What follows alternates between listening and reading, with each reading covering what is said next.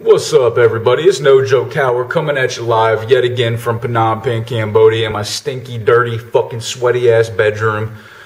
Uh, but life is good. Life is good. I'm about to make some some noodles and some eggs and tomatoes and shit. Um, yeah, I got a, I got a very interesting email from this man named Daniel. I'm not gonna say your last name, Daniel. Don't worry. But basically, the first half was base uh, pretty much his life story. Um, and you know this guy has this guy's wow he's he, he's been through some shit. You know daniel if you're watching which i'm sure you are man dude wow. Jesus christ man. You've you you've had quite a life on you so far um and that's actually pretty amazing. Uh, he said he's he, he's from portland oregon and daniel uh this probably ain't really like is not a big deal to you but i used to live in portland myself um i lived there for like six months and while I was living there at first, I was a truck driver, just like you, man. I drove for uh, Werner Enterprises and I drove for CR England. Uh, I never drove for Swift, but I saw them all the time. They're based out of what, Phoenix, Arizona, right? Swift? But yeah, I lived in North Portland, uh, right there by St. John's, uh, off of um, Willamette, off of Willamette Boulevard, by uh, by like Lombard uh, Street and Willamette, like in between there.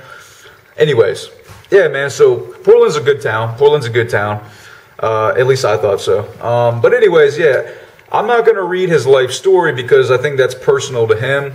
I think he just wanted to talk to me about that. But I am to answer some of his questions and answer other people's questions as well. So let me let me see if I can pick them out here. Uh, it's pretty big email. So number one was uh, one question What TEFL online course should I do? There's a 60 hour and a 120 hour. Is there a difference they care about in Cambodia? Um, yeah, I mean, typically you just want to go for the 120. I mean, it just looks better. You, you know, you didn't bullshit and go, you didn't half ass it. But as far as TEFLs go, man, you know, I, I, I got mine. I got my TEFL um, online as well, and like I, t- I took it so seriously. Like I was so serious about it. Like I had to have it. I was so dedicated to finishing it, and I had all these job interviews, and not one, not one of the school directors asked to see my TEFL. Not one of them. Like it was on my resume, but he never asked for proof. He just saw it. All they saw was they saw a foreigner uh, with that that was a native speaker. I was you know clean cut, well dressed, well spoken. I had a good looking resume. Oh yeah, and like I said, I'm a native speaker, and that's and that's really what they look for. Um, is native or, or, they they look for native speakers. Um, so I fucked that up, didn't I? Jesus. Um, but in terms of what company you should go through, I went through this company called ITTT. I forgot what it stood for, but it's like ITTT online TEFL course, whatever bullshit. It was like 250 bucks, I think.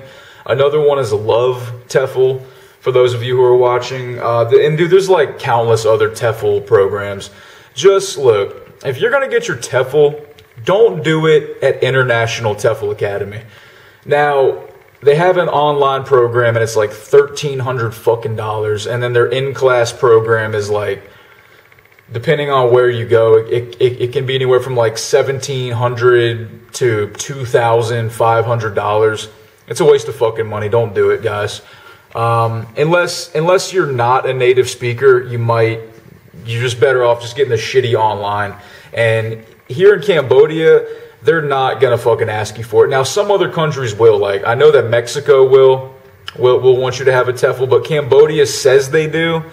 Even some schools say you have to have a college degree. It's bullshit. The reason they put that on their website, the school, the, okay, the reason the schools put that on their websites is because the parents of the students want to see that they only hire teachers with a TEFL, with a bachelor's, because the schools in Cambodia are not schools. They are, they are, they are companies, they are businesses uh, that the parents pay uh, to live in the uh, to live in the fucking delusion that their children are really learning something. These schools are nothing more than businesses, and my school director even told me that. He's like, "Look, we just want the parents to pay us. All right. If they don't pay us, then we can't pay you. That that, that that's what he told me. Now that that's Cambodia for you, dude. So if you're stressing out about, oh my God, I have to have a degree, I have to have all this all this experience, no. The parents, they just want to see a foreigner with a with a college degree, whether or not you have one, teaching their fucking kids. So I hope I answered your question, guys. Uh, if you have any more questions about like teaching, like what it's actually like to teach here, just shoot me an email, no joke striking at Gmail. I'll be happy to make a video on it. It's really no big deal. Uh, next one is uh, I really love to come Cambodia to teach English. Uh, nice. Uh, I like to find myself again with an ayahuasca retreat, 100%. Ayahuasca, just from like just from like what I read in your email, dude, ayahuasca would be amazing. Not just for you, uh, uh, Daniel, but for anybody. Um, blah blah blah. Your YouTube channel's fucking awesome. Goddamn right it is. Uh, so inspiring. Blah blah blah. Thank you, sir. Yeah, he, he said he has five thousand dollars. Uh, five thousand dollars, sir you are rich as fuck in Cambodia. So don't stress out about money. Um, and he asked me, he said uh, that he wants to live in an area of Phnom Penh that aren't full of tourists or expats or, you know, white people or just whatever. And dude, I'm the same way. First of all, number one, it's going to be way more expensive just because if there's more foreigners, it's going to be more expensive restaurants, more expensive coffee shops, blah blah blah. You name it. it it's it's it's like that in any country, I'm sure. Um, now, the part of town I live in is called Tuol Tom Poung. Tutumpong. Uh, that's three words. Um, it's kind of a bigger area of town, and it, it does have a lot of expats in it on the southern end of it. But where I live, I live on the far northern end of Tuol Tom Poung, and uh, really not many foreigners at all, dude. Like when I walk around, I'm literally. I mean, aside from my roommates, because they're because they're white, uh, but aside from us, like and a couple other neighbors here, and the whole area, it's like all Khmer. It's all Cambodian people, which I love. So like when I go to the market here, everybody speaks Khmer, so I get to work on my Khmer, um, and it's great, man. So if basically if, if you want to stay away from all the expats and barangs as they call them uh, that's like barang is like like white person um, it means french but they say that for white people then i would stay away from the riverside. I would stay away from the russian market area which is like southern Tuol Tom Poung i'd, I'd stay away from there um, and pretty much anywhere else you know really. Um, plus plus if you stay away from that it's going to be cheaper food cheaper housing uh, it's going to be more authentic, you know, all that crap. So, uh, you know, but yeah, really, most of Phnom Penh is like you're like you're not going to have a problem. Oh yeah, and stay away from like Street 51.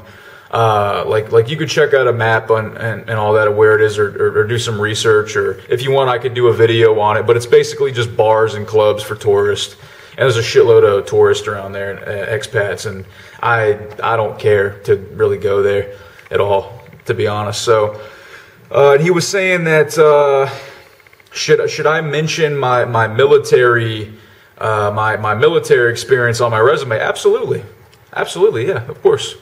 Yeah, I mean, why why why why wouldn't you? Uh, special forces, dude. That be be proud of that shit. Be fucking proud of that, dude. You're you're you're an American. Uh, they'll, they'll they'll probably see you as a fucking hero, anyways. Um, you're a native speaker. I'm sure you're a fairly well spoken guy. I mean, I haven't talked to you in person, but just from the way you type, it seems like you're pretty well spoken, dude. Um, yeah, absolutely. Plus, it shows that you have leadership. It shows that you, you know, can adapt to new situations. That that you're pretty fucking tough and blah blah blah. Uh, especially with the medical stuff. Um, and as far as experience goes, like your experience level, Dude, when I came here, I had zero zero experience, and I got a job making ten bucks an hour first thing. And ten bucks an hour here in Cambodia, I was making a thousand a month, dude. Ten bucks an hour here in Cambodia is really fucking good. Uh, so don't worry about experience. Don't worry about putting your military stay. Um, you know, it's it's just just make a resume, dude, and and just say that. Uh, just tell them about yourself, man. Just just be honest, dude. It's it's really don't don't don't overthink it. And obviously, when you go in for the job interview, just dress well. you know, dr- dress like uh, just somewhat formal, like wear a pair of slacks, you know, shirt tucked in. If you got tattoos, cover up your tattoos. Don't be a dumbass, you know, just just go in there and fucking look sharp, you know, dude. don't don't don't stress, cause cause I did, I did, and when I came here, I saw like how not serious any of this shit is. Like I don't even take my job that seriously, to be honest. Uh, just because I know like who I'm working for, so. Anything else? Um, yeah, in terms of the way you teach, I mean, he was asking like the teaching style. Yeah, the, most schools do have a curriculum, but do you need to really follow it? Not really. Just as long as just as long as you're doing something in the class. Like me personally, I do a little bit of book work and then we play games, but the games improve their English. So like I'll play Hangman or I'll play like like Word Unscramble uh, we'll do charades and shit like that. You know, it's just it's fun for the kids. It's it's it's fun for me to be honest, and it and it does improve their English. And then I give them homework from the books, dude. It's so fucking easy, dude. It's so easy. Uh, don't don't overthink this, man, or anybody watching. Um, and he was saying that uh, I should I should make a video where where it's called Oracle Howard's Guide to Retards that need help finding schools. Well that's not a bad idea, man. Um, I might, I might have to do that, but I don't know if I really feel like going around town and like showing you guys all the schools. To be quite honest, um, when you when you come here, there are schools fucking everywhere, dude. They're everywhere, so you're not gonna have an issue finding a school. If you have Google Maps while you're here, it has all the schools on there, dude. So I'm telling you, man, getting a job here is fucking cake. Um, just you got to put a little effort in. You got to make CVs and stuff, and you got to like actually go and hand them out. And you know, um, and he also had another one. One last question: When is a good time to start because of the school term? And that that's actually a good question. Um, yeah, a lot of schools sometimes, if it's the middle of the term, they only have part time positions open. Uh, so you might only be able to work part time and make like you know a couple hundred bucks a month, unfortunately. So usually the school terms start here, I think in they they usually end around uh, fall time and summertime, just kind of like back in the states or maybe even Europe too. Um, you you you can do some more research on that, but uh, even so, dude, if you're coming out here with five thousand dollars, you you could afford to just go on vacation for like a couple months, seriously, like a couple months easily, and still have a couple, like a few thousand left over, dude. So I would suggest that for you, Daniel. Come here to Cambodia, travel around for a while, go everywhere, dude. Go to Angkor Wat, go to fucking Battambang, go to Mondulkiri and see the waterfalls. Go, go to Kite, go to fucking Vietnam. Go to Laos. I mean, well, fuck it, dude. You have all kinds of money. It sounds like you've had a real hard life, dude. Um, you know, I, I, I think it's your time to let loose and enjoy and fucking travel and just chill the fuck out in a beautiful country, a beautiful part of the world. Enjoy the fruits of life here in Southeast Asia, man. Um, I haven't looked back since. I have no fucking desire to go back to Virginia, where I'm from. So, anyways, dude, I hope I hope I answered your questions. As always, Daniel or anybody watching, just fucking email me if you have any questions. Don't don't think that you're bugging me or you're bothering me because you're not. I love doing this shit. I said in my other video, I love to do this crap. I like helping people. You don't have to fucking pay me. You know, just the fact that you guys take an interest in what what the like what I'm putting out there, the fact that you take an interest in it means the world to me. Uh, it makes me very happy. So I, I mean that sincerely, guys. Anyways, no joke striking at gmail.com. No joke striking at gmail motherfucking.com. Get at me, guys. Don't be shy. Peace.